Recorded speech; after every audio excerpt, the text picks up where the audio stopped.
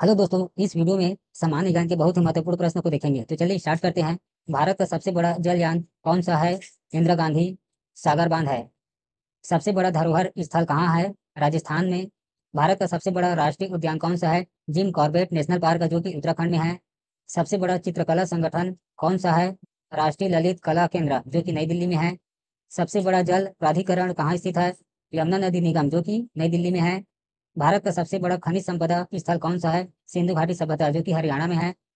सबसे बड़ा खेल संगठन कौन सा है? भारतीय खेल प्राधिकरण बीसीसीआई भारत का सबसे बड़ा ग्रामीण बैंक कौन सा है? ग्रामीण बैंक आप भारत है।